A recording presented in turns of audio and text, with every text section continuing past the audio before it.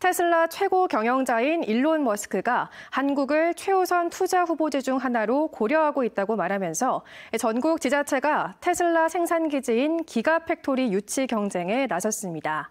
전기차 배터리 기업이 몰려있는 충청북도도 유치에 나섰는데 지금 당장 공장을 지을 수 있는 최적의 부지가 있다고 자신감을 내비쳤습니다. 김대웅 기자입니다. 지난달 23일 윤석열 대통령은 테슬라 최고 경영자 일론 머스크와 화상 면담을 했습니다.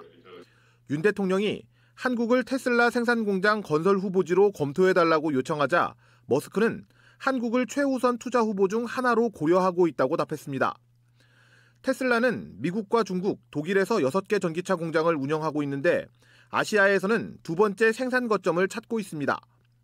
중국 상하이 공장과 비슷한 80만 제곱미터 이상 규모로 내후년 상반기에 착공할 계획입니다.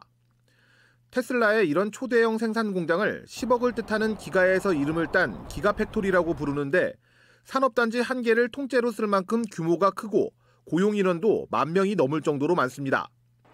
테슬라 투자 가능성이 나오자마자 전국 시도가 치열하게 경쟁하는 이유입니다. 충청북도도 도전장을 냈습니다. 전기차에 들어가는 2차 전지 생산 공장이 충북을 중심으로 270여 개나 몰려 있어 완벽한 산업 생태계를 갖고 있다는 겁니다. 바다가 없지만 평택항과 불과 40분 거리밖에 되지 않고 공항과 뛰어난 교통망을 갖춘 점을 강조하고 있습니다.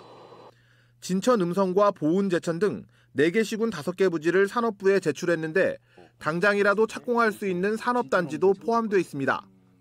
충북은 이제 바로 저 착공할 수 있는 그 어떤 그 최적화된 부지를 저희들은 기 확보하고 있습니다. 그래서 언제든지 입주가 좀 가능합니다. 네.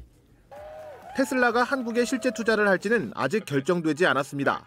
정부는 투자 제한 부지를 올해 안에 테슬라에 전달할 예정이며 투자 결정은 내년 1분기 안에 이루어질 전망입니다. MBC 뉴스 김대웅입니다.